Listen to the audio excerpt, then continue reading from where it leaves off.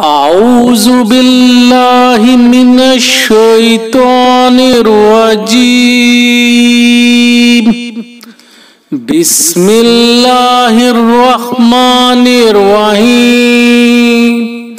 موت کا وقت مقرر ہے. آپ صلی اللہ علیہ وآلہ وسلم کی صاحبزادیوں میں سے ایک کا بلاوا آیا. نبی کریم صلی اللہ علیہ وآلہ وسلم کی خدمت میں سعد ابی بن قاب اور معاذ رضی اللہ عنہ موجود تھے۔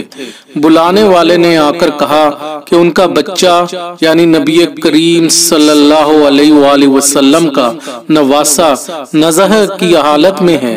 نبی کریم صلی اللہ علیہ وآلہ وسلم نے کہلا بھیجا کہ اللہ کا ہی ہے۔ جو وہ لیتا ہے اس لیے وہ صبر کریں اور اللہ سے اجر کی امید رکھیں۔